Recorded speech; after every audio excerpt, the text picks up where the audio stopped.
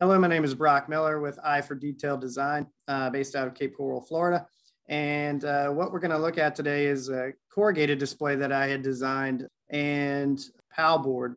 The display was a uh, six-sided base and a three-sided header. From the corrugated standpoint, it needed a whole lot of support and engineering in order to uh, hold the product. It's just incredible how PAL board will hold its structural integrity, even though you want to cut out large areas of the material and, and still have a vertical kind of stacking strength.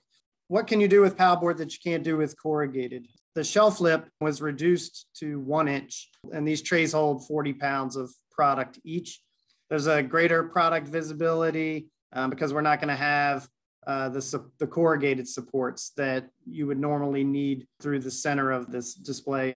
Without any center support, you're going to see 40 pounds of product sitting on a five millimeter PAL board tray, and there's not going to be any flex in that tray. Absolutely incredible. What you will have to support the top tray are small struts, which will actually be formed out of the vertical posts or, or beams that make up the outer part of the display.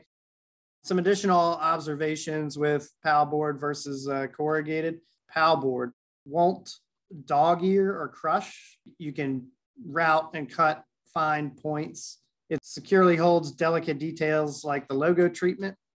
It allows for decorative routing effects. You can do curved structures and bends. It's waterproof.